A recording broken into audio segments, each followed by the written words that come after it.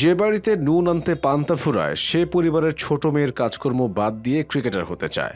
এই জন্য গরিবের ঘোরারোগ পেশায় ক্ষুদ্র কৃষক বাবা আইমুল্লা রেগে মেগে বলেছিলেন, আমি টাকা দিতে পারব না, তুই একা কি করবি কর। স্বল্প আয়ে চলে সংসার চালাতে হয় বাবার। তিনি তাই নিজের সঙ্গে মারুফাকে নিয়ে ক্ষেতের ফসলের কাজ করেন।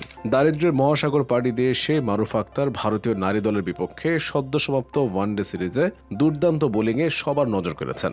স্লো আর মন্থর গতির জন্য কুখ্যাত মিরপুরের উইকেটেও ঝরিয়েছেন আগুন। তার দুর্দান্ত পারফরমেন্সে শক্তিশালী ভারতের সঙ্গে ওয়ানডে সিরিজ এক একে ড্র করে বাংলাদেশ। শেষ ওভারে ভারতের জয়ের জন্য দরকার ছিল কেবল তিনটি রান।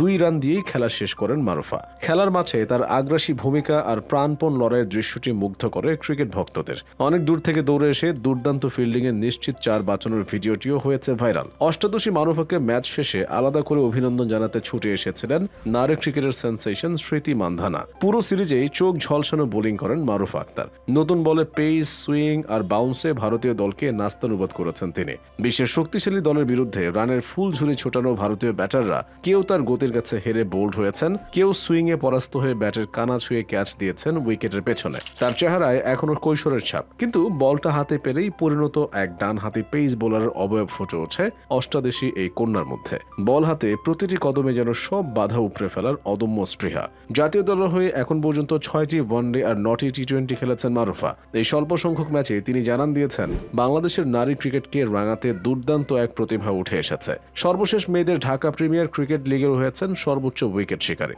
মাথায় উঠেছে টুর্নামেন্টের সেরা উদীয়মান খেলোয়াড়ের মুকুটও। দু ও দু সালে বিকেএসপিতে ভর্তির জন্য নির্বাচিত খেলোয়াড় তালিকায় ছিল তার নাম, কিন্তু অর্থাভাবে ভর্তি হতে পারেননি। দু হাজার একুশ সালের জানুয়ারিতে করোনা মহামারীর সময় বাবার সঙ্গে ফসলের মাঠে কাদায় মাখামাখি হয়ে কাজ করছিলেন। সম্ভাবনাময় এক ক্রিকেটারের এমন অবস্থার ছবি তুলে কেউ একজন ফেসবুকে পোস্ট করে। মুহূর্তেই ভাইরাল হয় ছবিটি। শুরু হয় তুমুল আলোচনা। একটি বেসরকারি টিভি চ্যানেলের মারুফার দৈন্যদশের ব্যাপারটি বিসিবির নজরে আনে। সে বছরই বাংলাদেশ ক্রিকেট বোর্ডের সহায়তায় বিকেএসপিতে নবম শ্রেণীতে ভর্তি হন মারুফা। ফসলের মাঠ থেকে মারুফা এখন ক্রিকেটের মাঠে। কঠোর অনুশীলনে শানিত করেছেন নিজেকে। মাত্র দুই বছরের মাথায় তিনি এখন বাংলাদেশ দলের প্রধান ভরসাদের একজন। এবছর বাংলাদেশ ক্রীড়া শিক্ষা প্রতিষ্ঠান বা বিকেএসপি থেকে মানবিক বিভাগে এসএসসি পরীক্ষায় অংশ নিয়ে GPA four point zero six পেয়ে পাশ করেছেন।